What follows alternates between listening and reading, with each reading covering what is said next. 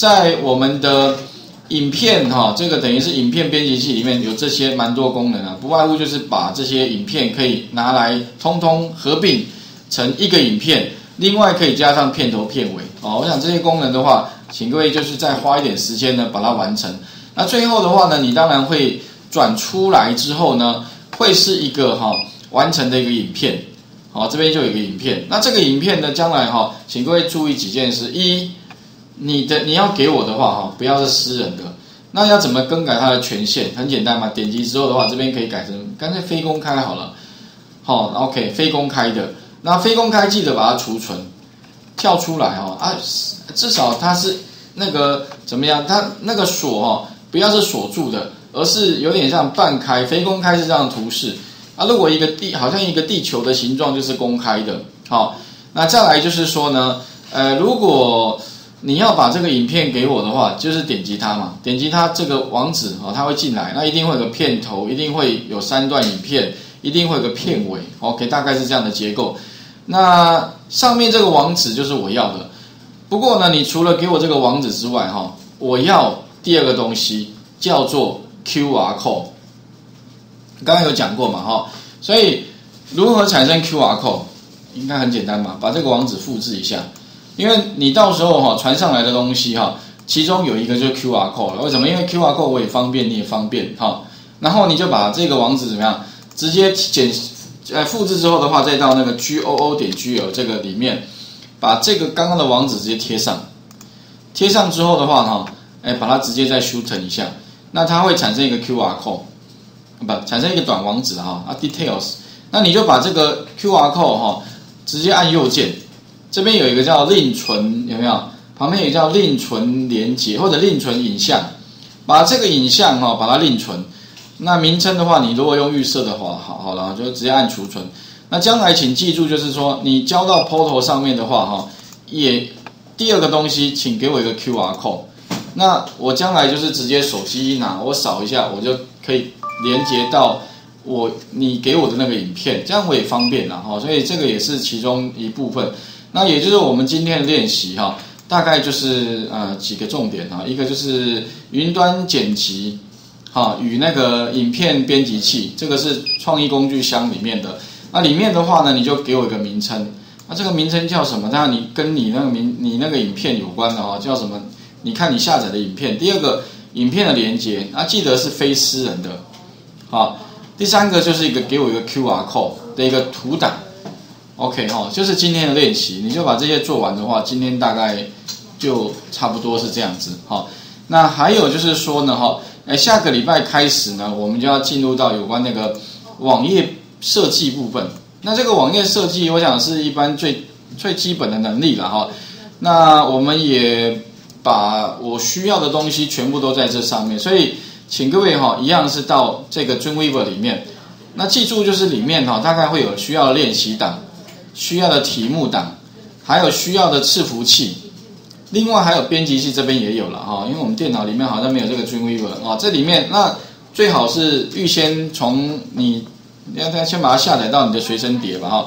那如果可以的话呢哈，这边有个题目档，这个题目档的话，它是一个 PDF 档案，那里面的话呢，大概就是。会有一些哈跟那个证照有点关系的，当然你这些学会，你除了可以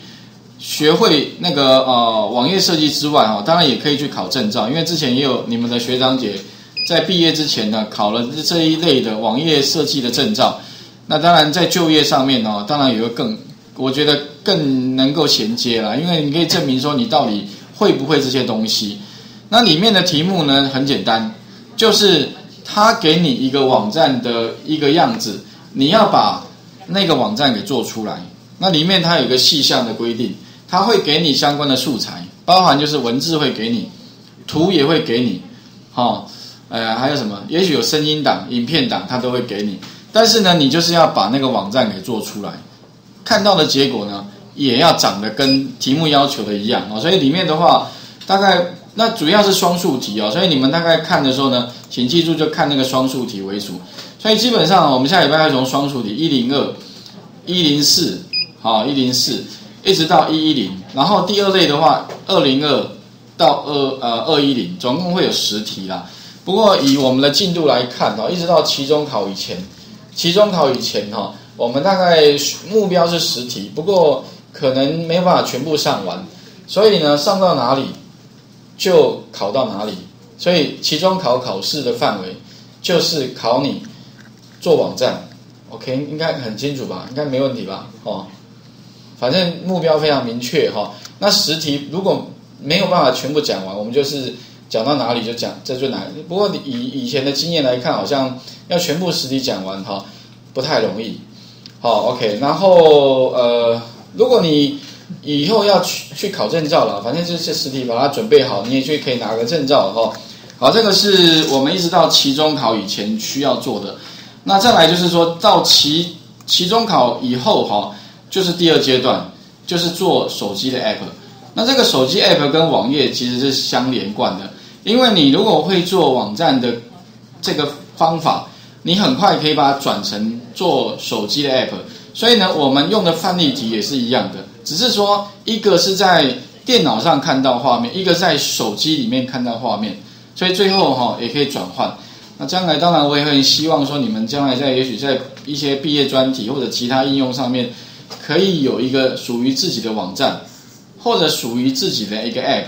那这些东西的话哈，可以在你毕业的履历，就是你的这样找工作的履历表上面呢，可以产生啦。也许你履历表上面呢，我我觉得真的可以放个 QR code 啦。我和为什么不行？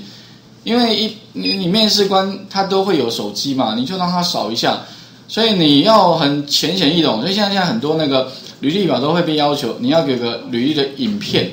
影片是你如果面试自我介绍哈，你就直接传到 YouTube 上去了，那你设为非公开嘛，啊，诸如此类的，啊，所以这部分的话呢，把画面再还给各位哈，啊，剩下的时间呢，就给各位哈，把今天的那个作业哈也给做完，哦，其实应该。这些东西哈都非常的实用。那当然，我还蛮强烈建议建议各位，就是说哈，可以发挥自己的创意。那当然，几个同学如果有一些志同道合的同学哈，哎，不妨可以哈想想看了哈，反正大家一起呃做一点，说不定再来第二阶段，也许你可以再去申请我今天讲的 Google 的那个 AdSense。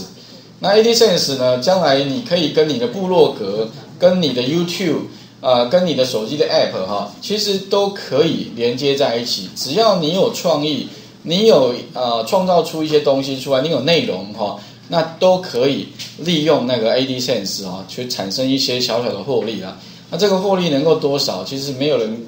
可以知道啊。因为我的东西说真的，我放上去的东西哈，都是上课的影片，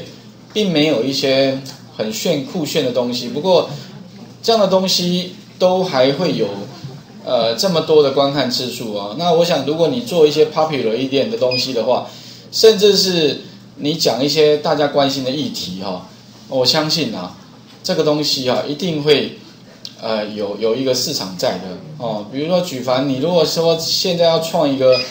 原制的小 原制的一个频道啊，原制大学中语系的频道，都不是很问题啊，只要你有办任何活动哦，哎，都可以产生 video。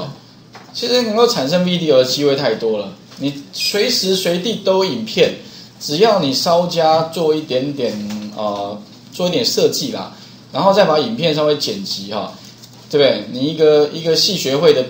你要让人家知道系学会到底最近做了什么事情，不再只是用啊一些文字，大家那你可以创一个什么呃类似的哈各个单位的一个呃频道，我想这个都有其必要性啊，所以这个部分的话。请各位哈试试看，那用的方法哈，当然不是只有我讲的这些啦，当然还有更多哈。